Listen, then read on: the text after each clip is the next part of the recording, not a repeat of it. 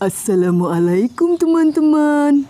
Perkenalkan, aku Zaid. Aku Samita. Apa kabarnya teman-teman semua? Gimana puasanya? Masih tetap semangat kan?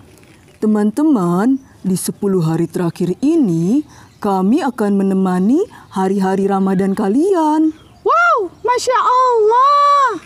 Yuk ikuti kami di 10 hari terakhir ini. Yuk.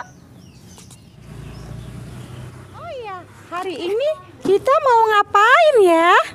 Gimana kalau kita main? Kok main? Kan kita mau ujian. Gak apa-apa Sabita, santai aja. Kan online, bisa cari dari berbagai sumber. Kamu kok begitu? Allah kan maha melihat. Mengapa kamu nggak jujur? Harusnya kamu mencontoh sahabat Rasul yang satu ini. Hmm, siapa itu? Abu Bakar Ashidik. Kamu mau tahu kisahnya? Yuk kita saksikan.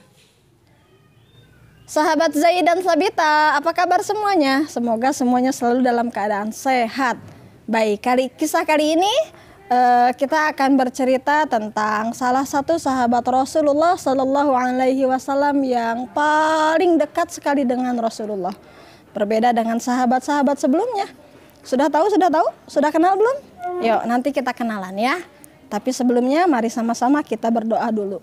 Semoga dengan berdoa sahabat Zaid dan Sabita di rumah, Allah mudahkan untuk memahami kisah hari ini. Diangkat tangannya. Bismillahirrahmanirrahim. Rabbish li sadri wa yassir li amri wahlul uqadatam mil lisani yafqahu qawli. Amin.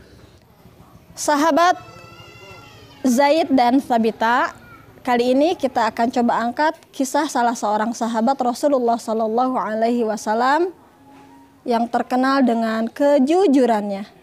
Beliau adalah Abu Kuhaf Abdullah Abdullah bin Abu Kuhafah. Abdullah bin Abu Kuhafah. Pasti kalian belum terlalu kenal ya dengan nama tersebut. Jika Ustazah sebutkan salah satu namanya yang lebih masyhur, yang lebih terkenal, pasti tahu. Oh, Abdullah bin Abu Kuhafa adalah Abu Bakar. Abu Bakar terkenal dengan kejujurannya. Beliau memiliki sifat kejujuran yang benar. Bagaimana sifat kejujuran yang benar itu? Yaitu sifat yang dibuktikan dengan hati, sifat kejujuran yang dibuktikan dengan lisan, dan sifat kejujuran yang dibuktikan dengan perbuatan. Sahabat Zaid dan Sabita Abu Bakar radhiyallahu an sebelum tinggal bersama Rasulullah Shallallahu Alaihi Wasallam, sebelum bertetangga dengan Rasulullah Shallallahu Alaihi Wasallam, beliau uh, sama dengan penduduk Mekah lainnya, yaitu ayahnya Abu Kuhafah, seorang penyembah berhala. Abu Bakar radhiyallahu an mempunyai ayah, ayahnya seorang pedagang. Tahu pedagang apa? Ya, ayahnya seorang pedagang emas.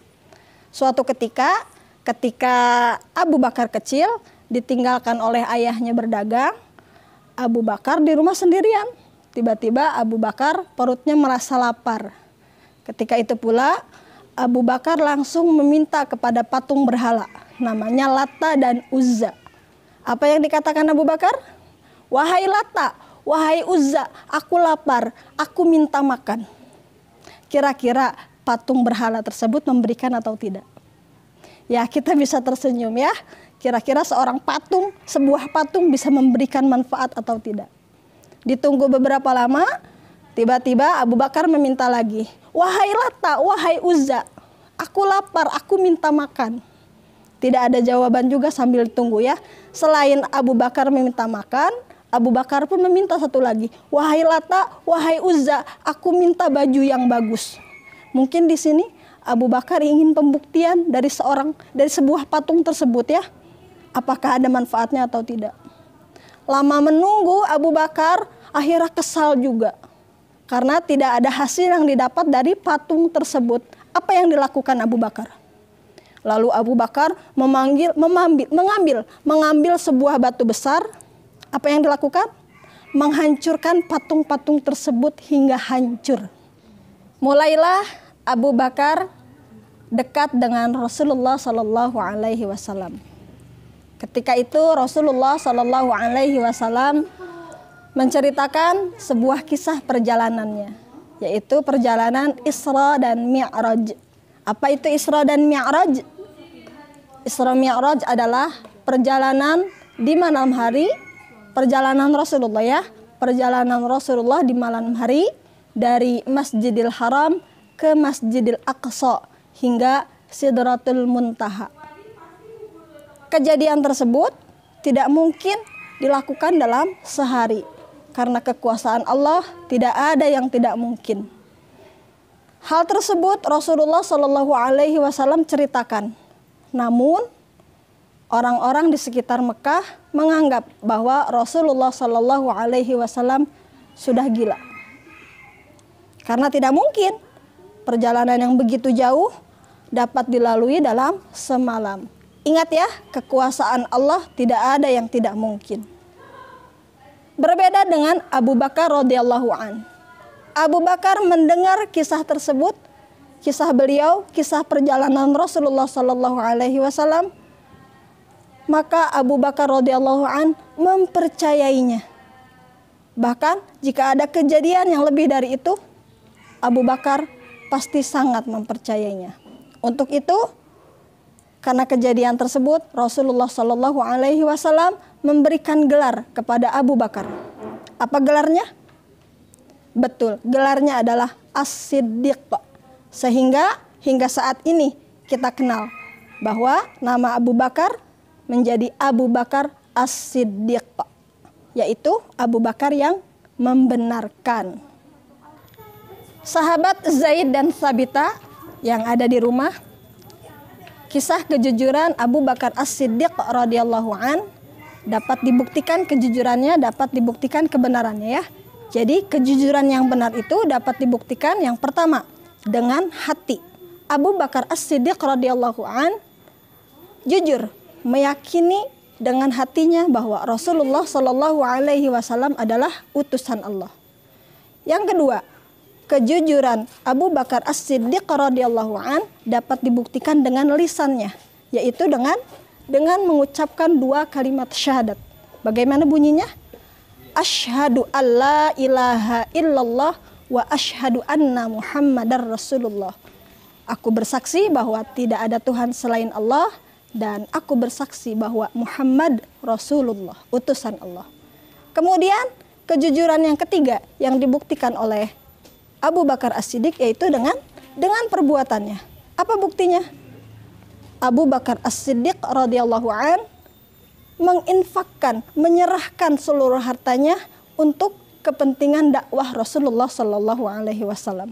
Bahkan ketika seluruh hartanya diserahkan kepada Rasulullah, Rasulullah sampai sampai mengatakan, "Wahai Abu Bakar, jika seluruh harta ini kau serahkan kepadamu, bagaimana dengan anak, istri dan keluargamu?"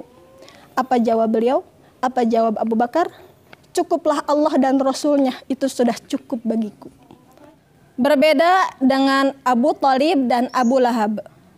Siapa Abu Talib? Ya, kita tahu bahwa Abu Talib adalah paman Nabi Shallallahu Alaihi Wasallam. Nabi Muhammad Shallallahu Alaihi Wasallam dirawat sejak kecil oleh Abu Talib. Abu Talib yang begitu menyayangi Rasulullah Shallallahu Alaihi Wasallam. Namun sayang, kejujuran Abu Talib tidak sempurna. Kenapa tidak sempurna? Karena kejujurannya hanya dibuktikan dengan perbuatannya saja, yaitu dengan menyayangi, merawat, menjaga, membela Rasulullah. Tetapi Abu Talib tidak mengucapkan dengan lisannya, tidak mengakui, tidak meyakini dengan lisannya, tidak menyebutkan bahwa Rasulullah Shallallahu Alaihi Wasallam adalah utusan Allah. Pun dengan Abu Lahab. Siapa Abu Lahab? Sama. Abu Lahab pun adalah paman Rasulullah Shallallahu Alaihi Wasallam. Terkenal dengan kekejamannya. Begitu sangat memusuhi Rasulullah Shallallahu Alaihi Wasallam. Namun hati kecil Abu Lahab, hati kecilnya meyakini, mengakui bahwa Rasulullah Shallallahu Alaihi Wasallam adalah utusan Allah. Namun sayang, dengan lisannya tidak diucapkan, dengan perbuatannya bahkan sangat, sangat, sangat memusuhi Rasulullah Shallallahu Alaihi Wasallam. Jadi berbeda dengan Abu Bakar. Abu Bakar memiliki kejujuran yang sempurna, dibuktikan dengan hati, dibuktikan dengan lisan, dibuktikan dengan perbuatan. Namun Abu Talib hanya kejujurannya sebatas pada perbuatannya saja, yaitu menyayangi dan membela Nabi. Sahabat Zaid dan Sabita bahwasannya kejujuran itu harus disempurnakan. Seperti yang sudah dicontohkan oleh sahabat Rasulullah Shallallahu Alaihi Wasallam Abu Bakar As-Siddiq. Beliau menyempurnakan kejujurannya dengan hatinya, lisannya, dan perbuatannya. Begitu juga dengan kita. Contoh, ketika kita sedang ujian, ketika ditanya jujur, mengerjakan sendiri, tidak menyontek, kita yakinkan bahwa memang hati kita tidak menyontek. Dibuktikan dengan pekerjaan kita bahwa itu hasil kerja kita ya disempurnakan dengan hati, lisan dan perbuatan. Sebagaimana ada sabda Rasulullah Shallallahu Alaihi Wasallam diriwayatkan dari Abdullah bin Mas'ud radhiyallahu an dari Nabi Shallallahu Alaihi Wasallam bahwasannya hendaklah kalian bersikap jujur. Hendaklah kalian bersikap jujur karena kejujuran akan membawa kepada kebaikan dan kebaikan dapat mengantarkan ke surga. Sesungguhnya seseorang senantiasa jujur sehingga ditulis sebagai seorang yang jujur. Dan sesungguhnya dusta atau bohong dapat menyeret kepada kejahatan. Dan kejahatan dapat menyeret ke dalam neraka. Sesungguhnya seseorang senantiasa berdusta hingga ditulis di sisi Allah sebagai pendusta. Hadis riwayat Bukhari. Mudah-mudahan kejujuran kita membawa ke surga yang Allah janjikan. Allahu a'lam bissawab. Bagaimana Zaid? Hmm, sekarang aku nggak mau begitu lagi. Mau berusaha sebaik mungkin dan bersikap jujur. Bagus. Wah, teman-teman, utamakan kejujuran ya. Iya ya teman-teman.